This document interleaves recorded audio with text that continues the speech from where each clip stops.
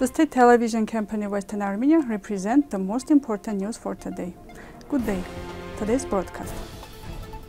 The 27th meeting of the Council of Ministers of the Republic of Western Armenia. Many questions of the families affected by fuel explosion in Artsakh remain unanswered. After the publication of the articles on the monasteries of Artsakh, the Vatican started an investigation. Sputnik Armenia. The offsprings of Western Armenia, Zapel Yesayan. Charles Aznavour's monument will be opened in Yerevan. Young people preserve cultural heritage with their new performances of old song. On 20 August, the 27th session of the Governing Council of the Republic of Western Armenia was held. The session started with the welcome speech of the President of the Republic of Western Armenia, Ms. Lydia Margosyan. The President spoke about the importance of natural resources, emphasizing their vital importance for the Armenian people and added that it is necessary to develop and strengthen it.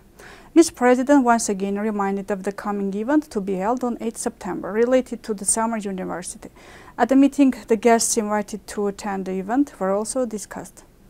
Ms. President offered to send an official letter to the Mayor of Lyon to attend the event. At the end of the session, organizational issues of the scientific conference dedicated to Goddess Anahit, scheduled for September 15, were also discussed.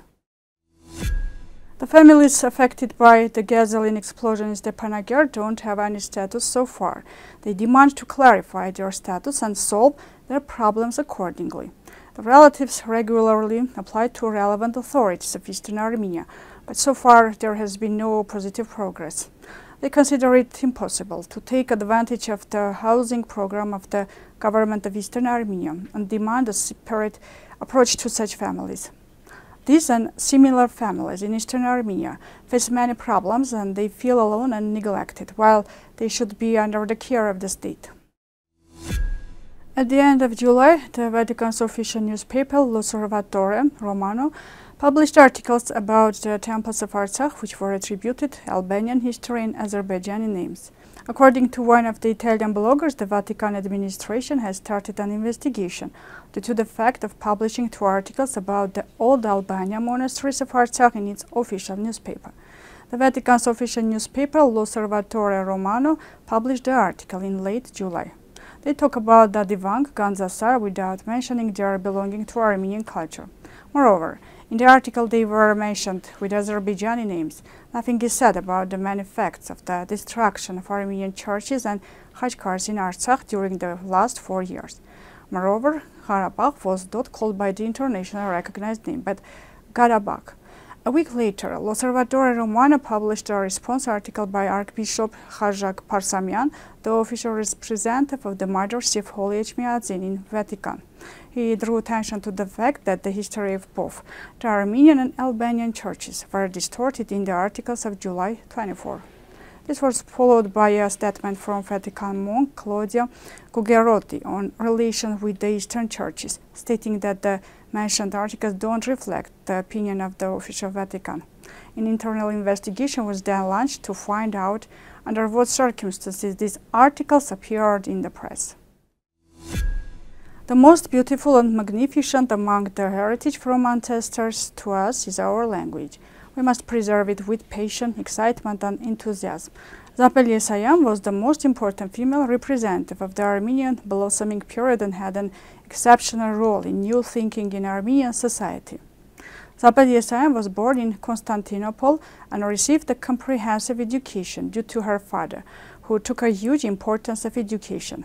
It should be noted that such a position towards girls was rare in those times. Zapel was the only female member of the Young Turk list of Armenian intellectuals to be arrested on April 24, 1915, and this is evidence of the great influence she had as a writer and intellectual.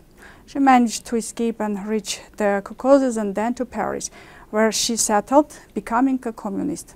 Years later, being invited to Soviet Armenia, she decided to settle there permanently.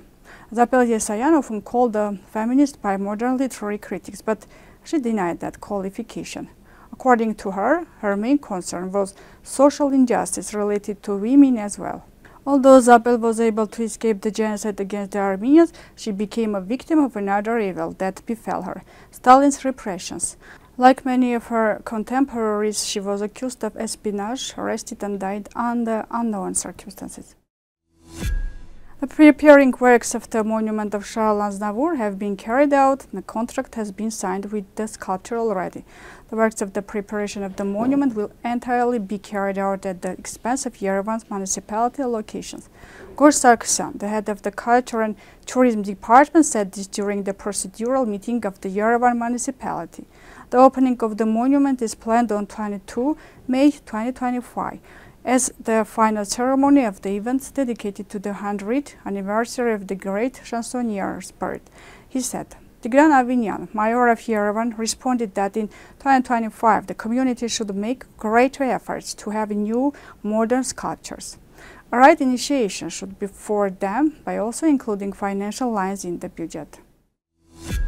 With the financial support of the Ministry of Education, Science, Culture and Sports of Eastern Armenia, the NGO Sevan Youth Club implemented the update program, which was aimed at the preservation, viability and transmission of the intangible cultural heritage of the coastal communities of the basin of Lake Sevan. Most of the performers are descendants of the people of Mush who have brought the nation music they heard from their elders to our days. During the successive stages of the project, the songs were notated, developed, arranged and recorded with the advice of professional musicians. This continuous chain of protection of intangible cultural heritage was summarized by a concert touring Geghar region, during which local folk songs were played and publicized with the participation of local musicians and the recording of the Gamma band. The concert took place in Gavar, Martuni, Vardenis and Sevan communities of Geghar region to give a joy to the cultural life of communities and ensuring the vitality and continuity of forgotten intangible cultural heritage through new interpretations of old songs. This was all for today. Goodbye.